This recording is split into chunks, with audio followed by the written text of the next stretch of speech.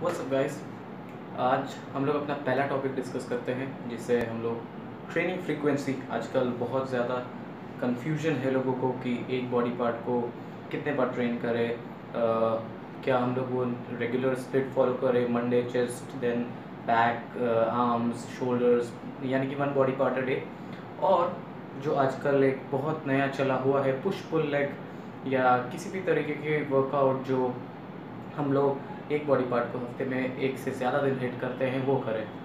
ये जानना बहुत ज़रूरी है कि अगर हम लोग इसमें से कोई भी करें तो किस लिए करें? तो चलिए, इस वीडियो को ब्रेक करते हैं दो अलग अलग पार्ट्स में। सबसे पहले हम लोग बात करते हैं जो रेगुलर लोग, जो फ़र्स्ट टाइम जिम गोवर्स हैं, जो बिगनर्स हैं उनमें, और जो एडवांस लेवल के जिम गोवर्स हैं उनमें। So let's start with the video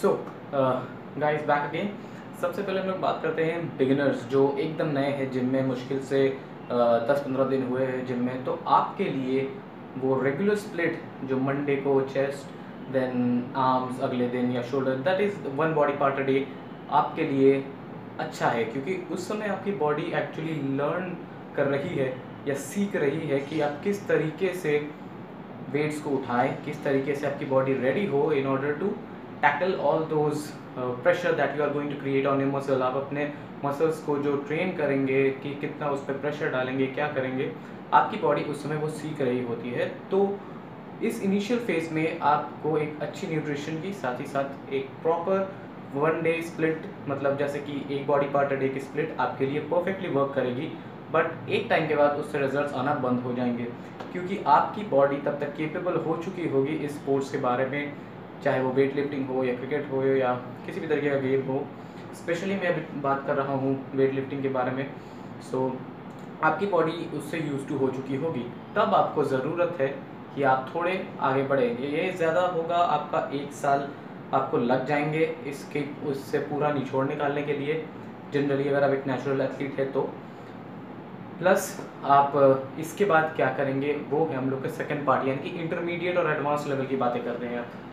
उन लोगों के लिए एक बहुत ही अच्छा स्प्लिट है push pull leg push pull leg एक ऐसा है जिसमें हम लोग अपने चेस्ट ट्राइसेप और शोल्डर्स यानी कि जितने भी चीज़ें जो एक पुशिंग मूवमेंट को जैसे कि मैंने इसे धक्का मारा तो आप देख सकेंगे मेरा ट्राइसेप मेरी चेस्ट इन्वॉल्व होगी मेरे शोल्डर्स भी एंगेज होंगे। सो so, एक दिन में हम लोग सारे पुश मूवमेंट्स को लगाएँगे फिर अगले दिन पुल मूवमेंट्स करेंगे हम लोग जैसे कि बाइसेप कर्ल्स हो गए या बैक हो गया ओके बेसिकली दो मूवमेंट्स ही आएँगे इसमें सेकेंड डे के लिए जो आपके बैक और पुल होंगी। बाइसेप यही दो मसल्स मेजरली यूज़ किए जाते हैं किसी भी तरीके को, चीज़ों को पुल करने के लिए। और लास्ट दिन होगा हम लोग का लेग्स जिस दिन आप अपने क्वाड्स और हैमस्ट्रिंग को ट्रेन करेंगे। क्वाड्स अगर आपको नहीं पता तो वो आपकी फ्रंट पार्ट है थाइस के। और हैमस्ट्रिंग जो पीछे का एरिया है, आपके ग्लूट्स से लेके पीछे तक और काफ्स करना ही है। अब आप कैसे करें, क्या करें?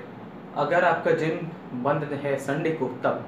प्रॉब्लम आती है पुश पुल लेग स्प्लिट में, यही अक्सर कि जिन लोगों के यहाँ पे जिम संडे को बंद रहता है, वो क्या करें? क्योंकि ये स्प्लिट ऐसे होता है पुश पुल लेग रेस्ट यानी कि मंडे ट्यूसडे वेंसडे आपका वर्कआउट चला then Thursday rest then Friday Saturday Sunday you have to hit it again then again one break इस सिचुएशन में आपके प्रॉब्लम आएगी कि आपको बीच में जो रेस्ट पीरियड है, वो नहीं मिल पाएगा। और हाँ उससे पहले हम लोग बात करते हैं कि एडवांस लेवल को ये ट्रेनिंग फ्रीक्वेंसी बढ़ाने की क्यों ज़रूरत होती है? ठीक है? पहले ये बात कर लेते हैं, फिर हम लोग बोल लेंगे कि इसकी एक ऑल्टरनेटिव क्या निकाल सकते हैं पुश पुल लेग की। तो फ्रीक्वेंसी होने इसलिए ज़रूरी है क्योंकि एक नेचुरल एथलीट की प्रोटीन सिंथेसिस लेवल एक बार मसल्स को ब्रेक करने पे नेक्स्ट 48 आवर्स तक कंटिन्यू होती है। ठीक है? तो आइडिया ये रहता है लोगों को, जैसे रिसर्चर्स और सब में बताया जाता है कि आप अगेन उस मसल फाइबर को ट्राई करें 48 एट आवर्स के अंदर हिट करने के लिए। बट ये मैं उस तरीके से नहीं मानता हूँ। रीज़न बहुत ही सिंपल है, क्योंकि भाई मैंने मंडे को चेस्ट ट्रेन किया ट्राइसेप शोल्डर्स किए। प्रोटीन सिंथेसिस मेरी हाई है, मैं जो खा रहा हूँ, मैंने टीयर्स अपने इस पोर्शंस पे किए हैं तो वो उस समय प्रोसेस होगा, उस समय बनेगा। बट ऐसा नहीं है कि मैं ट्यूसडे से वर्कआउट नहीं कर रहा हूँ सिर्फ़ चेस्ट ही पूरे हफ़्ते लगा रहा हूँ। अगले दिन जब मैं अपने बैक और बाइसेप रूटीन करूँगा तो ऑब्वियसली मेरी मसल प्रोटीन सिंथेसिस वहाँ पे वर्क करेगी। यानी कि वो सिर्फ़ चेस्ट पे ना सिंथेसाइज करके दूसरे पार्ट्स में भी सिंथेसाइज करेगी।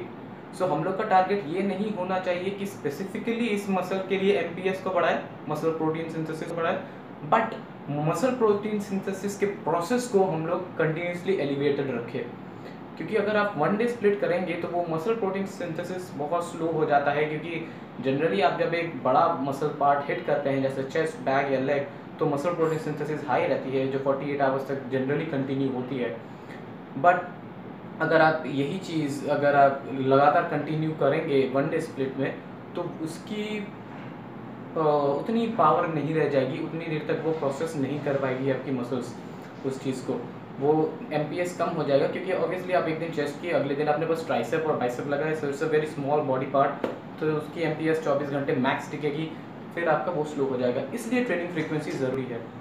अब वापस आते हैं हम लोग, क्यों, क्या करें? अगर आपकी आपका जिम संडे को बंद है तो तब आप कैसे पुश पुल लेग लगाएँगे?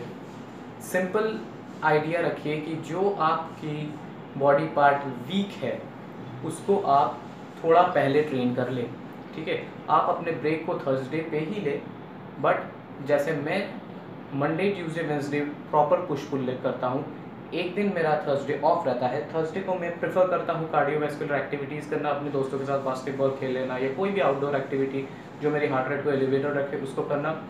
Then I try to hit my chest and back एक सुपर सेट वाला पूरा एक्सरसाइज लगाता हूँ, जिसमें मैक्सिमम सुपर सेट्स रहते हैं, ताकि मैं एमपीएस को एलिवेटेड रख सकूँ। साथ ही साथ उसको एक आर्म्स वर्कआउट के साथ फिनिशर दे देता हूँ। सो यू कैन सी कि मैंने एक ब्रेक भी लिया। साथ ही साथ मैंने अपने सारे मसल्स ग्रुप को बहुत वीक में ट्वाइस ट्रेन किया, क्योंकि सैटरडे को मैंने फिर से लेग किया। हाँ लेग में भी आप दोनों दिन को थोड़ा चेंज कर सकते हैं। आपने जैसे फ़र्स्ट अपने वीक के लेग वर्कआउट को रखा, अपने क्वाड्स के लिए फोकस्ड रादर दैन हैमस्ट्रिंग के लिए फोकस्ड और जो सेकेंड वर्कआउट आप लगाएँगे, उसको हैमस्ट्रिंग पे फोकस रखिए।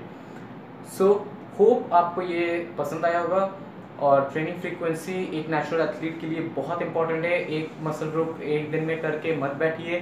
ट्राई कीजिए। अगर आप एक इंटरमीडिएट और एडवांस लेवल के हैं तो ऑब्वियसली आपके पास नॉलेज होगी।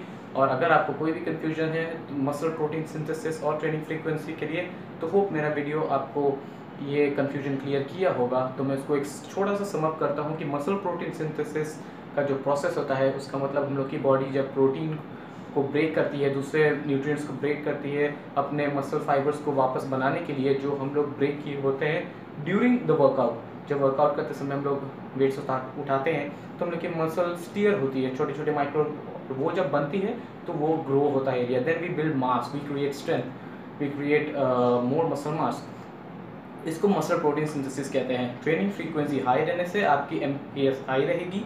अगर आपकी ट्रेनिंग फ्रीक्वेंसी लो है तो आप नहीं उसको उतना हाई रख सकते हैं। आपको अपनी फ्रीक्वेंसी बढ़ाने की ज़रूरत है। सो मेक श्योर कि आप इस वीडियो को अगर आप पसंद आया तो प्लीज़ लाइक करें शेयर करें।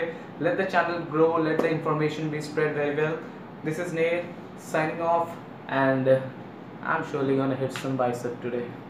Thank you.